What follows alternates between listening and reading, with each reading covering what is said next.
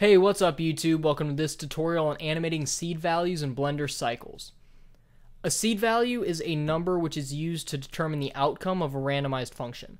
This is because nothing in a computer is truly random. Instead, it takes a value and through math makes that number unrecognizable to the number you started with, meaning the outcome is very hard to predict. This means that if the same seed value is used, the result will be the same every time. If you wanted different values every time, then you could use something such as the current time in milliseconds as the seed value. This means that the seed would always be changing and would always be unpredictable. However, for things like 3D animation, it can sometimes be handy to keep things consistent from render to render, so by default, Cycle's render seed is set to stay the same. In still images, this isn't a problem, however, in animations, this stuck seed can cause some strange effects. Let's take a look at an example. Here's a quick animation I made out of a recent speed model I did that I rendered out at 50 samples. I rendered it out at 50 samples so the noise is easier to see, and it's easier to see what I'm talking about.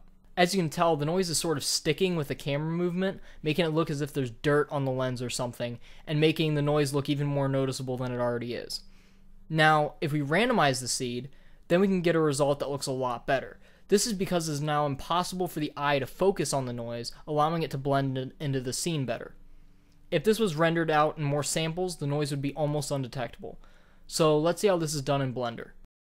Now that we're in Blender, it's actually very simple to set this up. All you have to do is go over to the Render tab, and then under Sampling, click this little button that looks like a clock.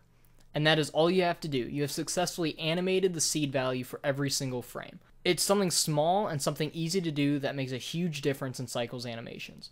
Anyways, that's the end of this tutorial. If you found it helpful, be sure to like and subscribe.